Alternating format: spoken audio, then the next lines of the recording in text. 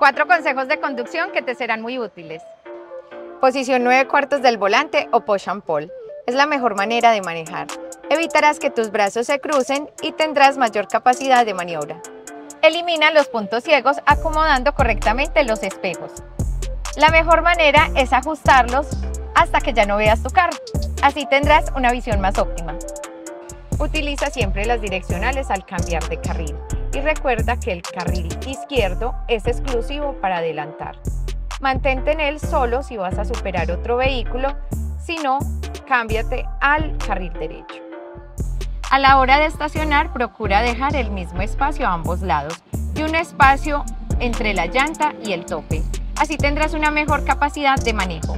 Pon estos consejos en práctica y disfruta de una conducción más eficiente y segura.